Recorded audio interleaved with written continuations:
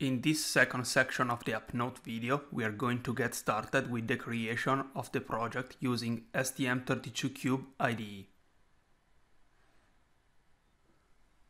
We are going to start by opening STM32Cube IDE and create a new project.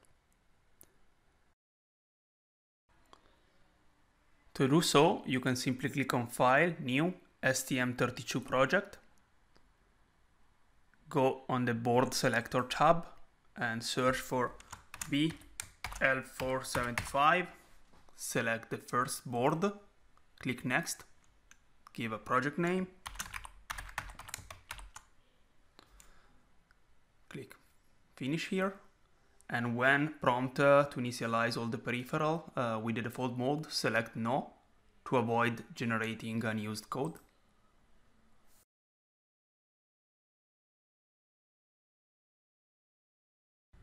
We will be configuring an I2C interface to communicate with the accelerometer and a UART interface for the basic logging.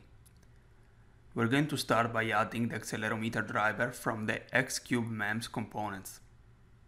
To do so, we need to open the software pack selector in the pinout configuration.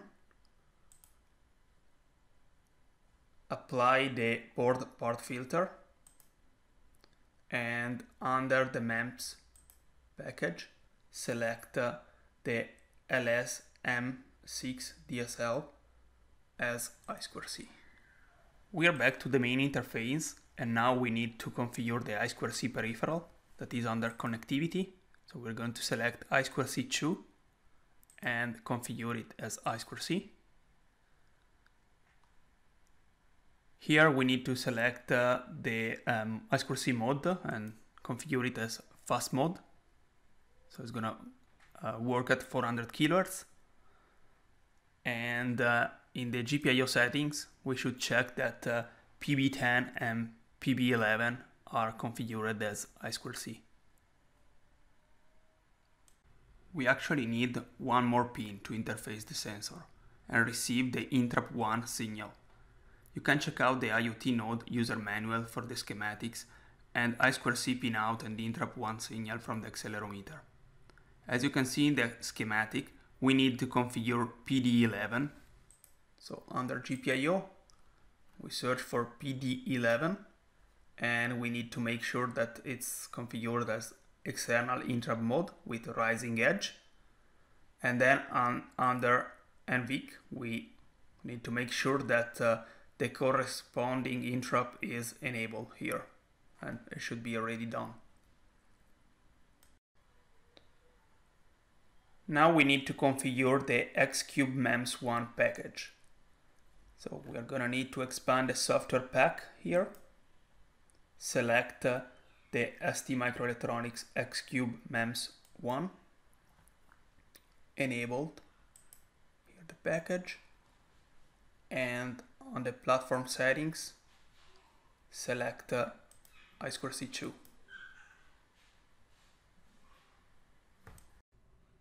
The last peripheral that we are going to use is the USART1. Select USART1 under the connectivity interface. Enable the asynchronous mode. If not already configured, set the baud rate to 115,200 here. And then under the GPIO settings, make sure that PB6 and PB7 are associated with the UART1. This UART will be used to send log messages to the PC. The MCU configuration is now complete, and you can generate the code either by saving your project or by clicking Project Generate Code. All the code needed for the peripherals configuration has been generated. Now it's time to add our application code. To facilitate this step, we'll copy the code directly from the wiki page. In the Project Explorer panel, double-click on Core Source main.c to open the code editor for the user application code. The first section to be added is the private includes. Here we have three different files and are the header files for the accelerometer, the I2C bus and the SDIO used for the printf output. Simply copy this code here. The second part uh, is the private variable section and it's here. We can go back to the wiki page and copy these two lines. Here we have the definition of a structure for the motion sensor and that data ready received variable that is used to notify when new data is available. Copy here. Okay, now we're gonna copy the MEMS_Init function definition.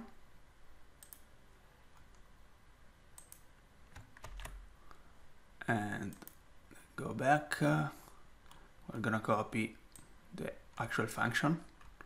This function has to be copied in the user code 4 section 4 go back here and usually it's after all the code generated by the tool. Here.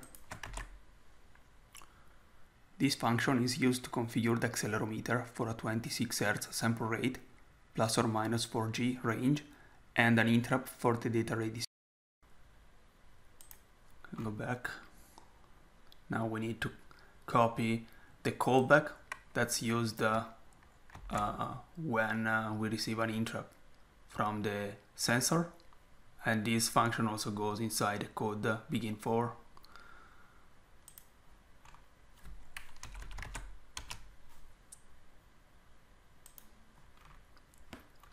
And then uh, we're gonna redefine the write. This is done in order to be able to use the printf